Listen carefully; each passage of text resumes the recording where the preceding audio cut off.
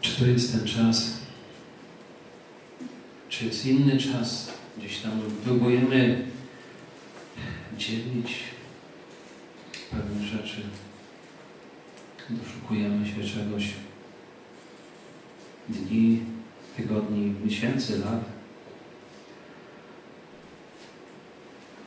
I czasem no, te lata pokazują to, że się starzejemy,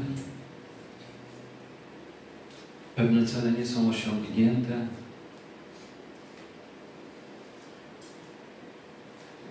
I zastanawiamy się, dlaczego jesteśmy w tym, a nie innym miejscu. E, mógłbym prosić trzecią od tyłu piosenkę, żeby wyświetlić, bo mi chodzi. Jest możliwość taka? Jezu, gdy się modlę, słyszysz mnie. Gdy się modlę. Gdyś mnie to zastanowiło. Gdy się modlę. Wiecie, że wielu ludzi modląc się nie jest pewna, czy Bóg go słyszy. Spędzają wiele godzin na. Bez pewności. A tutaj śpiewaliśmy, Jezu, gdy się modlę, słyszysz mnie. Także to jest w naszym życiu ważne, żebyśmy mieli tą pewność, że On nas słyszy. Następne zdanie. Jezu, gdy upadam, podnosisz mnie. Jest też bardzo ważną rzeczą, żebyśmy mieli tą świadomość. Jezu, ja Tobie ufam. Gdy upadnę, Ty jesteś ze mną, Ty mnie podniesiesz. Żyć tym, mieć tą pewność, że On mnie słyszy, że On mnie podnosi. Że to jest najpiękniejsze imię. To jest najbardziej wartościowe imię w tym świecie.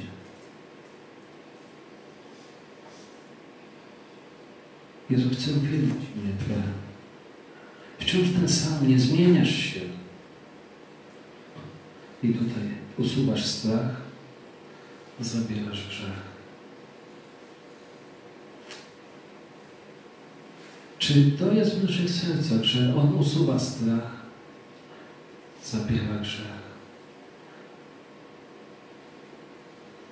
Myślę, że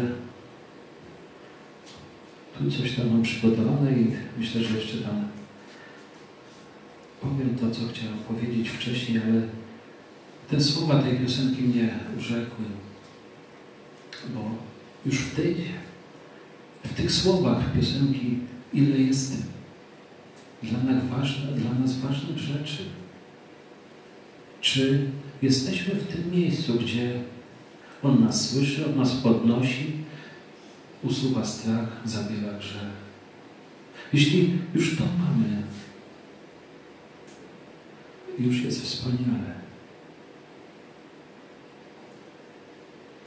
Ten świat nam nie daje pokoju, nie daje nam miłości, tylko strach. Masz się bać. A Jezus mówi, że On usuwa strach. Jezu, dajesz miłość, w niej chcę żyć. Jezu, wznoszę głos, by sławić Cię. Jesteś królem, co ma przyjść. Ile tutaj jest wspaniałych obietnic. Nie, to jest niepodważalna prawda. Bo w Jezusie mamy wszystko. Fajnie się mówi, tylko że jak się później idzie przez życie, są różne momenty, gdzie zastanawiamy się, co dalej. W Starym Testamencie, Psalm 23, król Dawid mówi, choćbym przed ciemną doliną, zła się nie ulęknę, boś Ty ze mną. W innych tłumaczeniach jest doliną cienia śmierci. To jest pokazane, że to jest trudne miejsce, gdzie możemy przebywać. Pierwszy werset mówi, Pan jest pasterzem moim. I tak jak wspominam moje życie, miałem różne trudne miejsca. Ale pytanie, gdzie moja uwaga była zwrócona? Czy na to, co widzą moje oczy, czy na Boże obietnice? Boże obietnice mówią, że Pan jest moim pasterzem. Pan jest pasterzem moim. Na niwach zielonych prowadzi, nad wody spokojne prowadzi mnie. Także to jest świetne miejsce. Może teraz otwórzmy Mateusza, 19 rozdział od 16 do 22 wersetu. Tutaj w tej piosence było pokazane, że Jezus dla nas jest wszystkim. Tu może nie było bezpośrednio, ale On jest prawdą, drogą i życiem. I będziemy czytać o człowieku, który szukał Bożej drogi. Pomimo tego, że tu nam tekst pokaże, że to nie był pierwszy kontakt z Bogiem jako z Jezusem, tylko on wcześniej, to co było od Boga dane prawo, przestrzegał go. A Jezus mu pokazał, ale słuchaj, ty nie potrafisz mi do końca zaufać.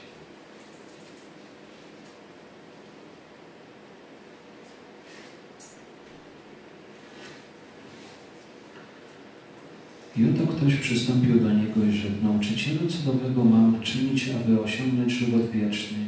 A on mu odrzekł, czemu pytasz mnie o to, co dobre? Jeden jest tylko dobry Bóg, a jeśli chcesz wejść do żywota, przestrzegaj przykazań. Mówił mu, których? A Jezus rzekł, tych nie zabijaj, nie cudzołóż, nie kradnij, nie mów fałszywego świadectwa, czcij ojca i matkę i miłuj bliźniego swego jak siebie samego. Mówił mu młodzieniec. Tego wszystkiego przestrzegałem od młodości mojej, czegoż mi jeszcze nie dostaje, rzekł mu Jezus. Jeśli chcesz być doskonały, idź, sprzedaj co posiadasz i rozdaj ubogim, a będziesz miał skarb w niebie. Potem przyjdź i naśladuj mnie. A gdy młodzieniec usłyszał to słowo, odszedł zasmucony, miał bowiem wiele majątności. Ciekawa sytuacja. Nauczycielu, co dobrego mam czynić, aby osiągnąć żywot wieczny? Pyta się Jezusa. To spróbować e, opisać tą sytuację. Ten młodzieniec znał zakon, przestrzegał przykazań, ale pojawił się jakby ktoś nowy. Ktoś, kto nauczał. I ten młodzieniec poszedł się go zapytać, co jeszcze mogę zrobić? Co więcej trzeba robić?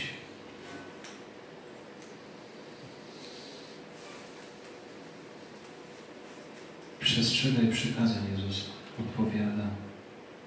O tym mówi, który? Jeszcze tych nie zabijaj, nie cudzołóż.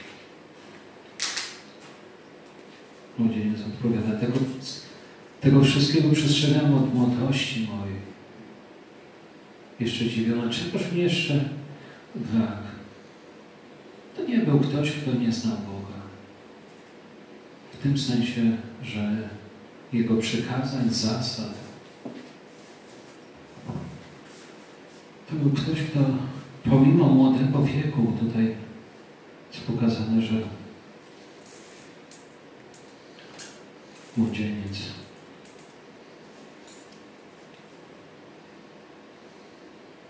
Ktoś, kto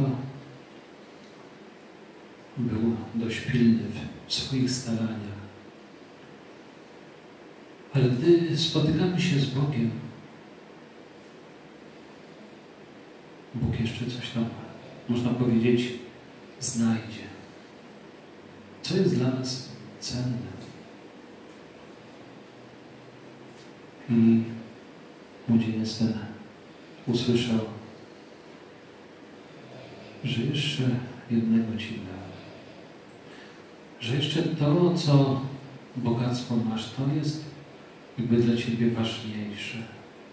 a może czy ważniejsze, nie potrafił się z tym rozstać. I niedogodnie w naszym życiu sami widzimy, że gdzieś tam coś, coś nas trzyma. Ostatnio ktoś powiedział, bo dla mnie jest rodzina najważniejsza.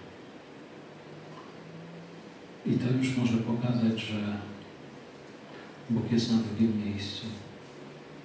Gdy właśnie ta rzecz, która jest w naszym życiu najważniejsza, gdy oprócz Boga, że jednak Bóg jest na drugim miejscu, gdy to się zacznie walić, wtedy nasze życie się sypie. Nie potrafimy się pozbierać. I ten człowiek, który mi powiedział, że rodzina dla niego jest najważniejsza, pomimo tego, że się starał, zaczęło to się sypać. Zaczęło iść to nie po jego myśli, bo nie zawsze sobie zdajemy sprawę, że nie wszystko od nas zależy. Nie wszystko potrafimy tak zrobić, żeby było po naszemu. A jeśli robimy, żeby było po mojemu, po naszemu, wtedy gdzie jest Bóg? Ciężko powiedzieć, co się z tym człowiekiem dalej stało.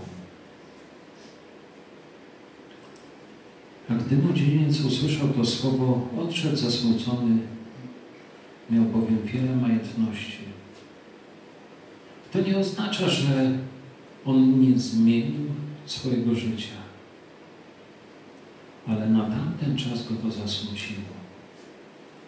I stanął przed wyborem. Bóg nam dość często pokazuje pewne rzeczy, żeby nas weryfikować. I tutaj nie możemy powiedzieć, że ten młodzieniec nie wykorzystał szansy. Dostał konkretną lekcję. Odszedł zasmucony. Pytanie, co dalej zrobił? To, że popełniamy błędy, to nie jest jakby problemem, który nas powali. Tylko pytanie, co dalej robimy? Jakie wnioski z tego wyciągamy? W którą stronę chcemy iść dalej? To jest właśnie bardzo ważną rzeczą w naszym życiu, by pamiętać, że jeśli coś pójdzie nie tak, co dalej zrobić? Gdy się modlę, słyszysz mnie. Gdy upadam, podnosisz mnie. To jest właśnie zaufanie. W tej piosence jest mowa, gdy upadam. Pytanie, dlaczego upadam, ale gdy się koncentrujemy na tym, by nie upaść, już mi to wychodzi, ale gdy się koncentrujemy na tym, że Jezus się zatroszczy o nasze życie, to jest wspaniałe miejsce. I dzięki temu młodzieńcowi mamy pokazane daną sytuację, że co jest w naszym życiu ważne, co jest ważniejsze. Bóg wiele rzeczy inaczej widzi niż my. My mamy ten problem, że świat pokazuje nam rzeczy nie w taki sposób, jaki by Bóg chciał nam pokazać. Świat nas uczy czego innego. Świat nas próbuje utwierdzić w tym, że tam dalej nic nie ma, że to życie jest najważniejsze, że trzeba wykorzystać je.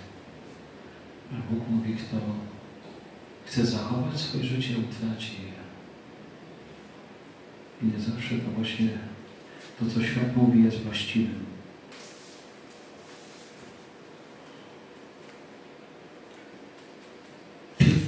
Pierwszy Tesaloniczan, piąty rozdział.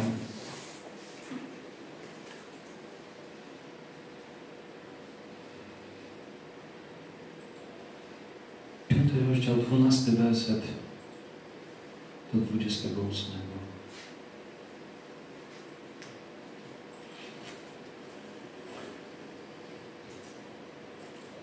To apostoł Paweł gdzieś tam jakby takie różne myśli przedstawia. Ale także cenne myśli, tak jak czytałem ten, tutaj te wersety, zwłaszcza jeden, zawsze się radujcie. Jak to zrobić, to jest trudne. A prosimy Was, bracia, abyście darzyli uznaniem tych, którzy pracują wśród Was, są przełożonymi Waszymi w Panu i napominają Was. Szanujcie ich i miłujcie jak najgoręcej dla ich pracy. Zachowujcie pokój między sobą. Wzywa, wzywamy Was też, bracia, napominajcie nieswolnych, pocieszajcie bojaźliwych, podtrzymujcie słabych, bądźcie wielkoduszni wobec wszystkich. Baczcie, ażeby nikt nikomu złym za złe nie oddawał, ale starajcie się czynić dobrze sobie nawzajem i wszystkim. Zawsze się radujcie, bez przestanku się módlcie. Za wszystko dziękujcie, taka jest bowiem wola Boża w Chrystusie Jezusie względem Was. Ducha nie gaście, proroctw nie lekceważcie, wszystkiego doświadczajcie, co dobre, tego się trzymajcie. Od wszelkiego rodzaju zła z dala się trzymajcie. A sam Bóg pokoju niechaj Was w zupełności poświęci, a cały duch Wasz i dusza i ciało niech będą zachowane beznagane na przyjście Pana naszego Jezusa Chrystusa. Wierny jest ten, który Was powołuje, On też tego dokona. Bracia, módlcie się za nas. Pozdrówcie wszystkich braci pocałunkiem świętym. Zaklinam Was na Pana, aby ten list był odczytany wszystkim bra braciom. Łaska Pana naszego Jezusa Chrystusa niech będzie z Wami. Amen.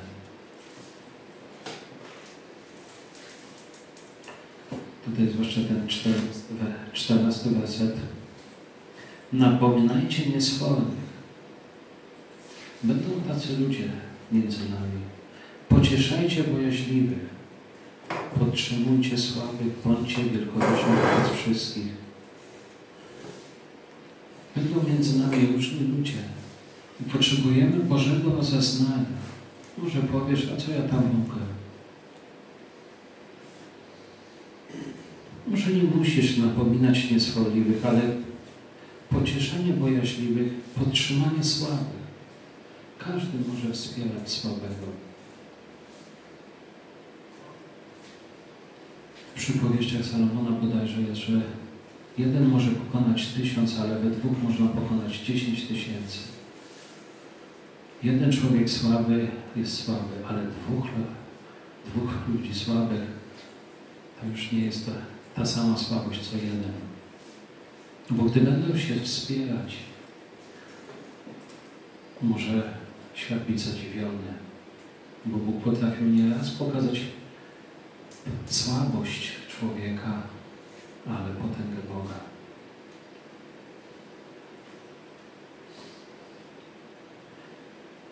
Bądźcie wielkoduszni wobec wszystkich.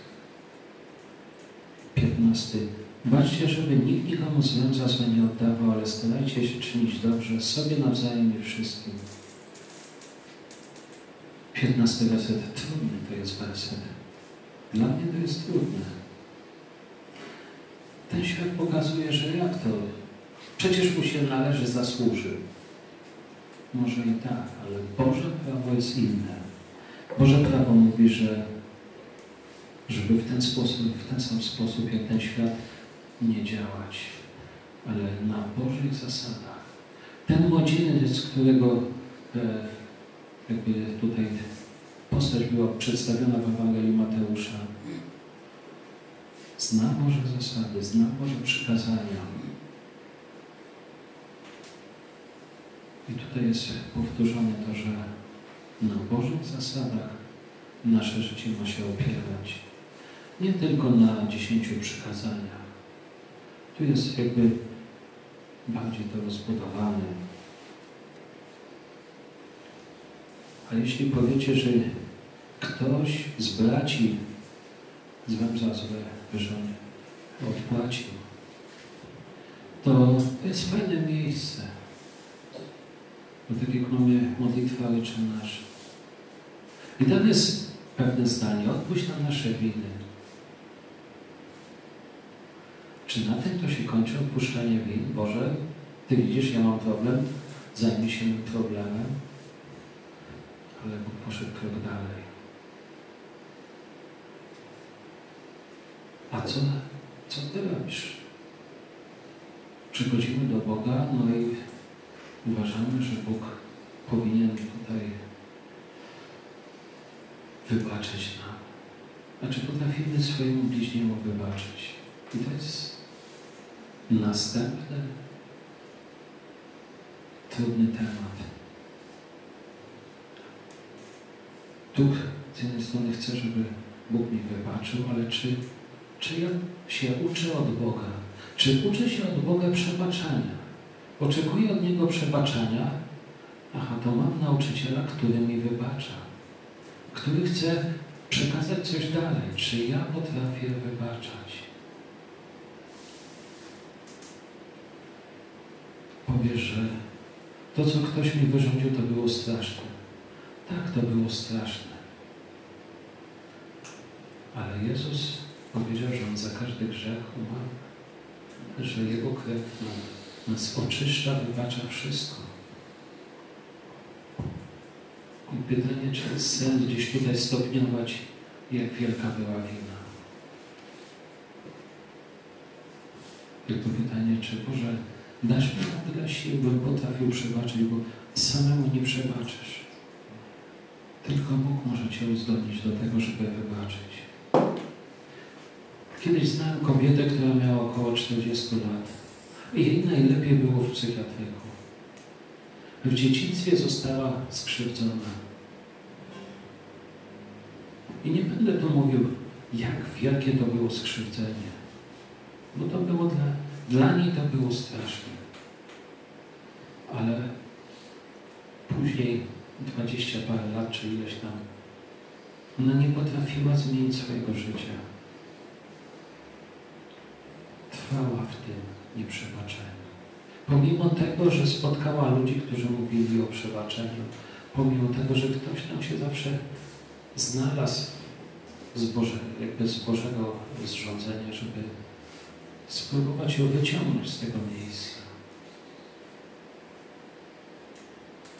Bo jest dziwna sytuacja, że Bóg daje przebaczenie, ale jeśli nie pozwolimy Bogu zadziałać w naszym sercu, możemy nie wyjść z tego problemu. Bo w niektórych sytuacjach to jest potrzebny wręcz cud Boży,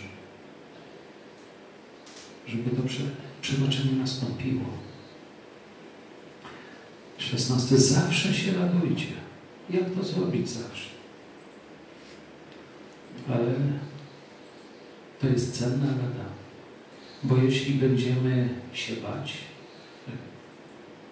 ten świat będzie nas straszył, że będziemy żyli w strachu, to jest gotowa recepta popaść w różne choroby ciała, nie tylko gdzieś tam będziemy się bać, psychika nasza będzie siadać, ale i, i nasze ciało będzie szwankować.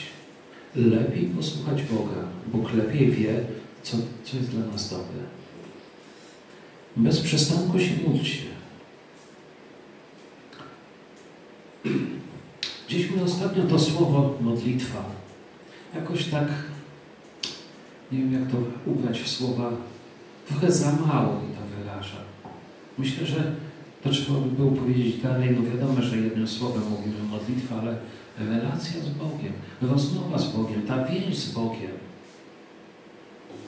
że, że się znamy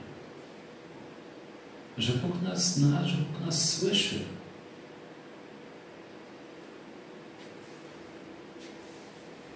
Gdy się modlę, słyszysz mnie.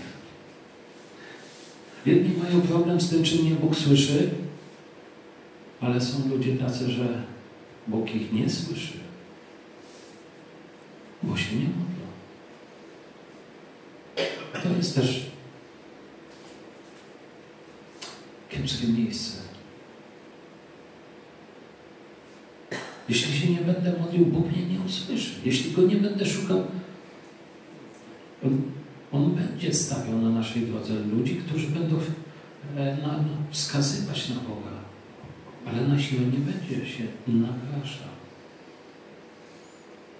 Oczywiście ludzka arogancja nie zna granic. Jak się Bóg chce mi objawić, to niech to tu jestem. Tylko chyba takim ludziom chodzi o to, żeby ich wręcz przestraszył, bo tak w tym lekkim powiewie, w takich spokojnych słowach nie będą chcieli słuchać Boga. Bez przestanku się módlcie. To znaczy co? Mieć to zaufanie do Boga, tą relację, tą bliskość.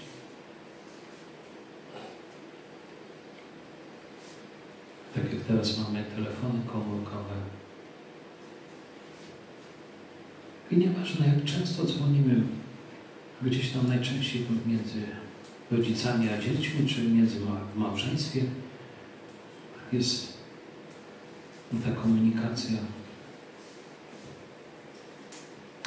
Mamy tą więź, tą możliwość zadzwonienia. Gdy jest potrzeba, dzwonimy, choćby dlatego, żeby kogoś usłyszeć bliskiego.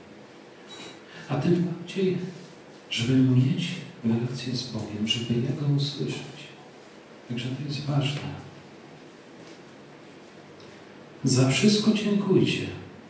Taka jest bowiem wola Boża w Chrystusie Jezusie względem Was. Za wszystko być wdzięcznym.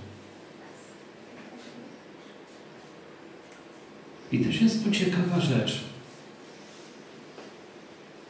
Bo jak to ktoś powiedział, pytanie, czym się wypełniamy? Jeśli będziemy na, e, dziękować, będzie za mało miejsca do narzekania. Nie będziemy potrafili narzekać, bo będziemy dziękować. I to jest ciekawe, że czym się wypełniamy. Tutaj mamy w tym liście do Tesaloniczan pokazane, co powinniśmy robić, takie dosyć praktyczne rzeczy. Ducha nie gaście. Następna trudna rzecz. Proroc nie lekceważcie. Gdy będziemy się modlić do Boga, będziemy mieli różne objawienia. Wiadomo, będziemy musieli to rozsądzić, zbadać, czy to jest ze mnie, czy to jest z Boga. Mamy jakieś pragnienia i czasem to będzie nie z Boga, tylko nasze pragnienia, a my weźmiemy to, nazwiemy proroctwem od Boga. Może być to przewartościowane, coś za dużo powiedziane. Ale 21 werset. Wszystkiego doświadczajcie, co dobre, tego się trzymajcie. Warto jest doświadczać Bożej łaski, relacji z Bogiem, tych wszystkich rzeczy, o których teraz tu mówiłem, które tu w tym tekście są pokazane. Dobrych rzeczy się trzymać. 22. Od wszelkiego rodzaju zła zdara się trzymajcie.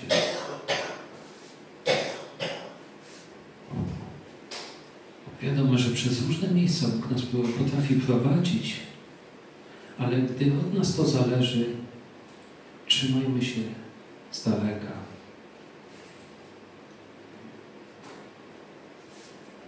Z daleka od terapeuta by powiedział wyzwa, tak? Wyzwalaczy. Ale Boże Słowo to inaczej nazywa. Bo najpierw się rodzi myśl, później pojawia się grzech, a później śmierć. Diabeł nam pokazuje reklamę, może tutaj raczej, co nasze oczy widzą. Nasze oczy widzą, co widzą, tylko pytanie, co dalej zrobimy z tym.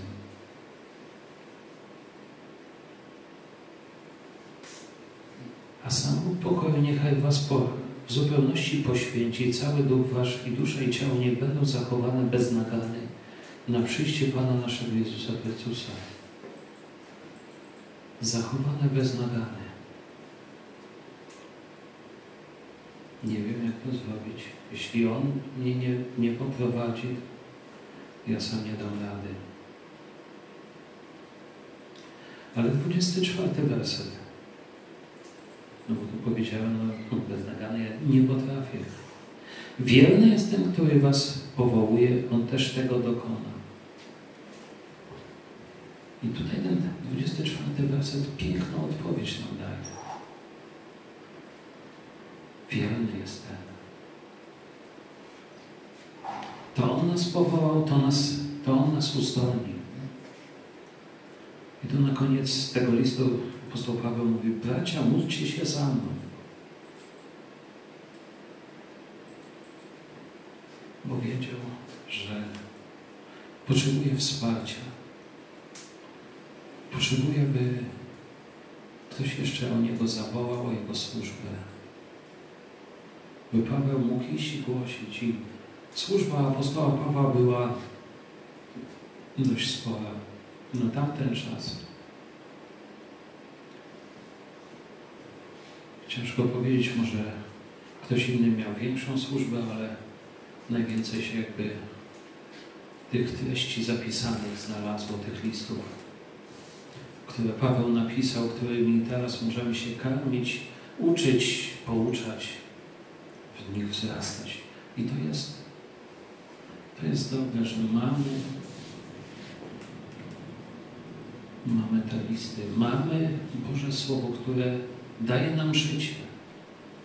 Niejednokrotnie, gdy odchodzimy od Bożego Słowa, tracimy Boga z oczu. Świat nam daje inne myśli, bombarduje nas. Zawsze się radujcie, bez przestanku się módlcie. I gdy gdzieś tam przeczytamy Boże Słowo, to nam pokazuje, że aha, co innego robię, powinien wrócić do tego. I wtedy podejmujemy decyzję, co jest dla nas ważniejsze, co jest dla nas jakby ratunkiem życia. To od nas jest zależne. Wiadomo, że tu ten 24 werset pokazuje On też tego dokona. On nas przeprowadzi. Ale pytanie, czy chcemy, czy chcemy podjąć to wezwanie, by prześladować, zawsze, zawsze się modlić, za wszystko dziękować. To też za, zawsze dziękuj za wszystko. Zawsze nie, niech ten duch nas płonie. Tutaj tego wszystkiego doświadczajcie, ale kto może wszystkiego doświadczać? Jeśli jesteśmy blisko Boga, jeśli Go szukamy, to po różnych doświadczeniach nie zbłądzimy, bo będziemy Go znali. Wielu ludzi nieumocnionych czasem poszło w tą stronę, że chciał, chciał wszystkiego doświadczyć. Ale gdy poznajemy Boga, znamy ten oryginał. Znamy oryginał. Mam możliwość czasem widzieć e, pieniądze, czy euro, czy jakieś inne waluty. I dla mnie to jest jakieś, no jest to jest. Czy to jest prawdziwe, czy to jest fałszywe, nie wiem. Bo aż tak często nie mam tych innych banknotów. Ale nasze polskie 100 zł czy 200 zł mam dosyć często. A to już dla mnie gdzieś tam, gdyby było kiepsko sfałszowane, mógłbym to wychwycić. Ale gdyby było dobrze podrobione to 100 zł, miałbym problemy. I w tej drodze za Bogiem będą różne podróbki. Swego czasu słyszałem taką naukę, że bo jeśli się ochrzciłeś chrztem wodnym, no to czy na pewno byłeś właściwie przygotowany? I byli ludzie, którzy chrzcili się jeszcze raz. Ktoś ich fajnie podeszedł. Ale gdy czytamy w dziejach apostolskich i uwierzyło dwa tysiące ludzi i zostali zaraz ochrzczeni. Czy oni wszystko mieli poukładane? Ale każdego dnia zbliżali się do Boga, poznawali Go i coraz bardziej Go poznawali.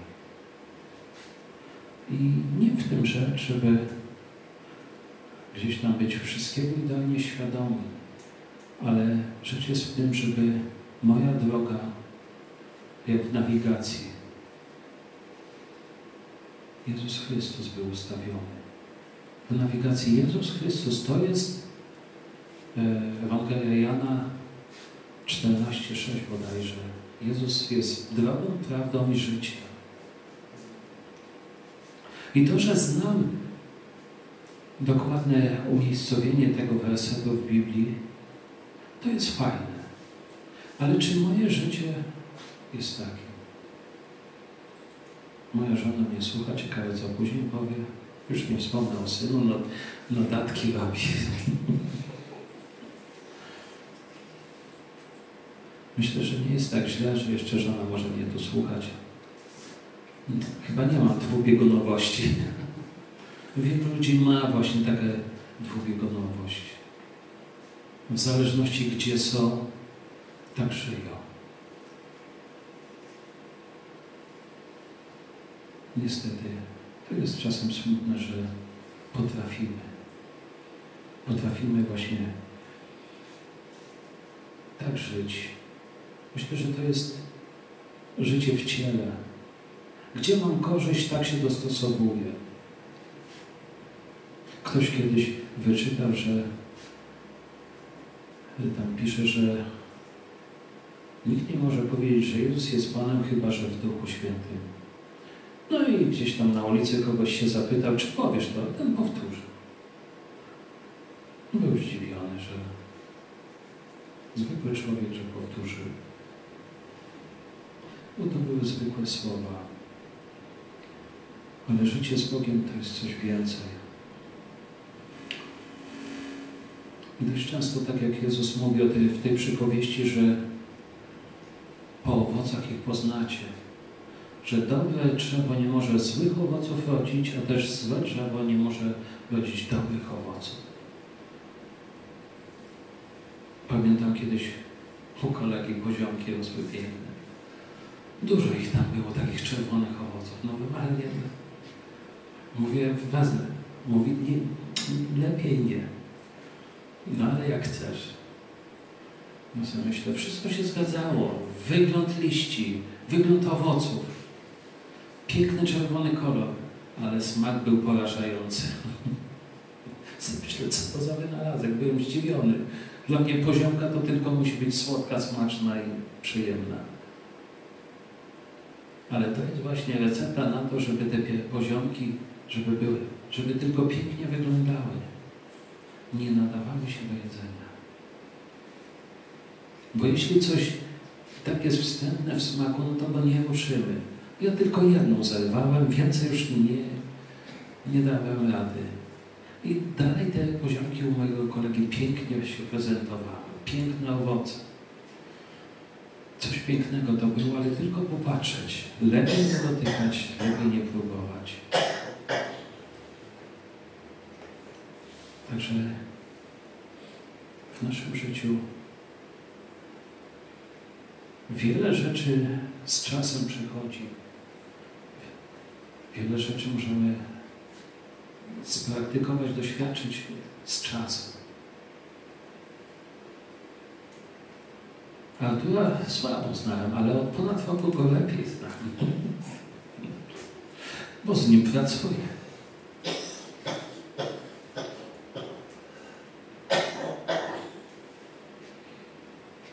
Widziałem, jak się złościł. W tej pracy jest różnie. Jak był zadowolony. Ale chcę Wam pokazać, nie chcę tutaj jakby tutaj kierować Waszej uwagi na naszą relację autora i mnie, ale na to, że gdy z Bogiem przybywamy, poznajemy Go, jak dobry jest. I specjalnie tą modlitwę Ojcze Nasz to lubię zwracać na to uwagę specjalnie, że odpuść nam nasze winy, jak i my. Ale co my? No właśnie, uczymy się od naszego Zbawiciela i my odpuszczamy. To nie są łatwe rzeczy, ale bez tych rzeczy się nie da żyć. Nie pójdziesz dalej. I tak jak ta kobieta potrafiła na 20 czy 30 lat się zawiesić. Nie wiem, co się dalej dzieje, bo gdzieś tam były pewne rozmowy, no, byliśmy za bystrzy i ona uznała, że tutaj no, ta znajomość dla niej już jest nieodpowiednia. Jeszcze tak na marginesie dodam, że miała męża, ale to chyba anioł był. Kiedy był potrzebny, no to przyjeżdżał. Kiedy był niepotrzebny, no to chyba znał swoje miejsce. Nie było to normalne małżeństwo, ale jakoś tam funkcjonowało. Tam mnie zdziwiło, że Bóg jej postawił człowieka, który, który jej pomagał, który się troszczył o jej potrzeby, ale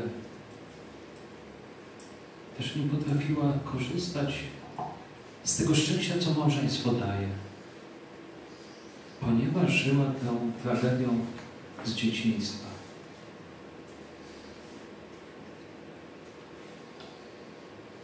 Odpuść nam nasze winy, jakie my odpuszczamy. Także tym się chciałem z Wami podzielić